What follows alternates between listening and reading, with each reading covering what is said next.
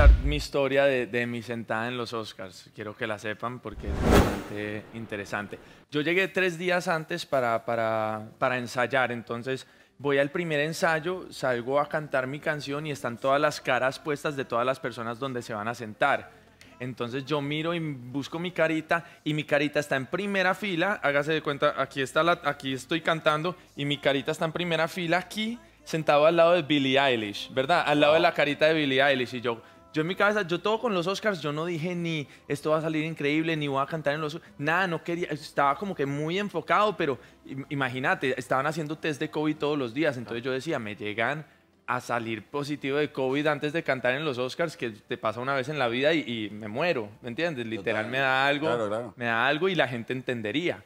Eh, entonces no, no quise decir nada, pero eh, lastimosamente eh, un día antes de los Oscars, la esposa de Lin Manuel, que fue el que escribió todas las canciones de Encanto, que lo adoro, Lin, eres lo más increíble del mundo. Él, él apoyó muchísimo la música colombiana para esto, apoyó para que yo cantara ahí en este lugar tan único. Eh, primera vez que se canta una canción completamente en español, el artista original que la, que la interpreta.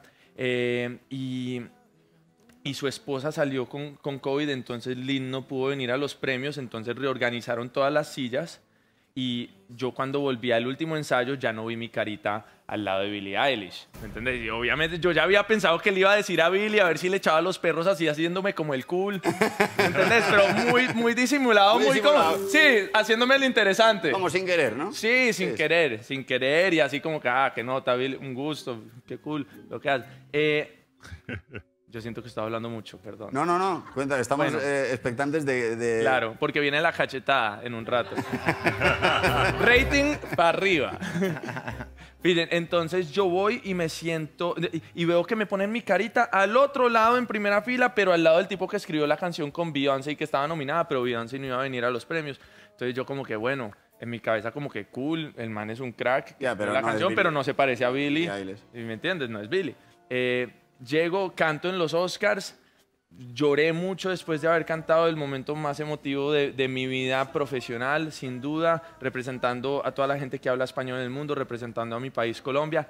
Eh, me bajo de la tarima, abracé a Will Smith, yo creo que le entregué como toda esa energía y ahí el man reaccionó de alguna forma. Eh, abracé, abracé a Bardem y a Penélope también que estaban ahí en primera fila. Voy y me siento, estoy con mi mamá eh, viendo los premios sentado al lado del, del tipo que escribió la canción con Beyoncé y muy buena onda con él. Y había, vos ves que en los premios siempre tienen como, hay gente que, se- que viene a los premios como voluntarios que les pagan y se sientan en las sillas en las vacantes. Sí. Eh, y yo no le presté atención a eso, pero los otros que estaban sentados en la silla era, era gente que, que habían contratado para que se sentaran. De la nada se paran esas dos personas, se sientan dos personas al lado mío y son Jay-Z y Beyoncé. Wow. Entonces, yo también me hice el que todo bien, súper cool. Yo, hola, ¿qué más? Tal cosa, mi mamá saluda a Beyoncé. Gracias a Dios, Beyoncé traía guantes porque me empezaron a sudar las manos así como. Entonces yo la saludé con guantes, muy chill. Saludé a Jay-Z más como así. El man me dijo que le encantó mi traje. Yo también. No me gustó tanto el de él, pero yo le dije que también me encantó. y,